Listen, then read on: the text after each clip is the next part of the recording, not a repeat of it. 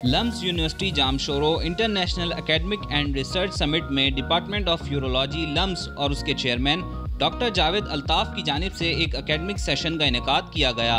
जिसमें कराची और दीगर शहरों के बड़े यूरोलॉजिस्ट को मदू किया गया। मैं doctor Javed Altaf chairman department of urology LUMHS आज का बेसिकली प्रोग्राम जो मनद किया गया है, ये डिपार्टमेंट ऑफ़ यूरोलॉजी की तरफ़ से एक सेशन है, जिसे एकेडमिक सेशन कहते हैं। आपको पता होगा कि लम्स की इंटरनेशनल कॉन्फ्रेंस और समिट हो रहा है, इन दिनों में आजकल, जो पिछले दो दिन से जारी है। तो इसमें हमने डिपार्टमेंट ऑफ़ यूरोलॉजी की तरफ़ से आज का सेशन किया है, जिसमें मुख्तलिफ़ किस्म की टॉक्स रखी गई थी।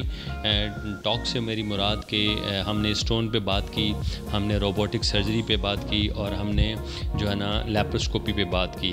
इन टॉक्स को जो है ना, डिलीवर करने के लिए हमारे पास कराची से बहुत सारे स्पीकर्स आए हुए हैं। अलहमदिल्ला प्रोग्राम बहुत वेल मैनेज्ड और बड़े ही डिसिप्लिन के साथ चल रहा है। हमारे पास डॉक्टर शोएब मिठानी आए हुए हैं, किडनी सेंटर से उन्होंने लेप्रोस्कोपी पे बात की। लेप्रोस्कोपी का मतलब है? सुराख के ज़रिए ऑपरेशन करना ऑपरेशन में जिद्दत लाना। इसके अलावा हमारे पास डॉक्टर मोहम्मद नाजिम आए हुए आगा खान यूनिवर्सिटी कराची से। उन्होंने भी जदीद सर्जरीज पे बात की कि गुर्दे की नाली से पत्थर को किस तरह निकाला जाए। ऐसा तरीका जो दूरबीन के ज़रिए से और जिद्दत उसमें लाई जाए। इवन ये सारी चीज़ें हम हैदराबाद में भी कर रहे हैं, लेकिन उनको और बेहतर तरीके से कैसे किया जाए। इसके अलावा हमारे पास एस आई से एक स्पीकर हैं डॉक्टर रियाज लगारी। उन्होंने रोबोटिक सर्जरी पर बात की।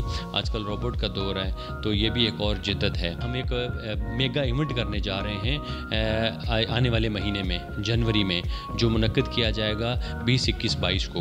उसमें वो उस जो इवेंट है उसका नाम है first annual Hyderabad urology conference. ये पहली दफ़ा हैदराबाद में होने जा रही है। इसमें इंटरनेशनल स्पीकर्स भी हमने मदू किए हैं जो कंफर्म हो गए हैं अलहमदिल्ला वो हैं प्रोफेसर मोहम्मद लैजरिक वो बहुत एक्सपर्ट हैं दुनिया में सिखाने जाते हैं स्टोन के निकालने के तरीके के हवाले से। जो काम पहले ओपन सर्जरी से किया जाता था इन्हें बहुत बड़ा कट लगा के किया जाता था। उसको सिर्फ़ कैमरा जिसम के अंदर डाल के, पेट के अंदर डाल के और उसी पूरे काम को सिर्फ़ उस छोटे तीन सुराख के ज़रिए मुकम्मल कर लिया जाए और उसको निकाल लिया जाए। इसका फ़ायदा क्या होता है? वो ये है कि मरीज़ को कम से कम अस्पताल में रहना पड़ता है, दर्द कम होता है, जिसम पे निशान नहीं लगते और मरीज़ जल्दी घर चला जाता है। जूनियर सर्जन्स जब इस तरह के सेमिनार्स अटेंड करते हैं तो उनको ये देखने को मिलता है कि बाकी लोग क्या कर रहे हैं और बाकी इंस्टीट्यूशन में क्या हो रहा है। आज जो एलम्स की इंटरनेशनल एकेडमिक्स और रिसर्च समिट है, उसमें देख के उसमें आके बहुत खुशी हुई। फ़र्स्ट ऑफ़ ऑल एक तो हॉस्पिटैलिटी दूसरी जो अरेंजमेंट्स थी, वो बहुत शानदार थी। और तीसरे के प्रोग्राम जो है यूरोलॉजी के हवाले से वो बड़ा अच्छा कंस्ट्रक्ट किया गया, जिसमें कन्वेंशनल चीज़ों को भी डिस्कस किया गया। रीसेंट एडवांसमेंट जो है, जैसे कि mini P C N L पर बात हुई रिट्रोग्रेड इंट्राडीनल सर्जरी पे बात हुई लैप्रोस्कोपी रोबोटिक सर्जरी पे बात हुई।